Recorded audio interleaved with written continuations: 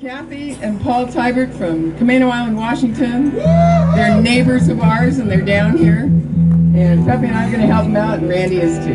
They've been, they've been off. They've been off on a road trip since October to the East Coast, and they we we conned them into coming by here on their way home.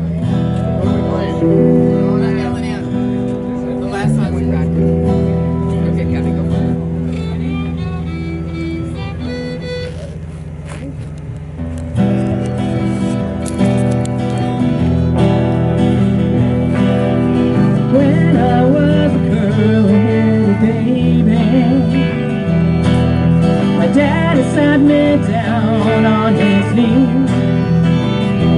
He said, son, you go to school, you learn your letters. Don't you be no dusty miner for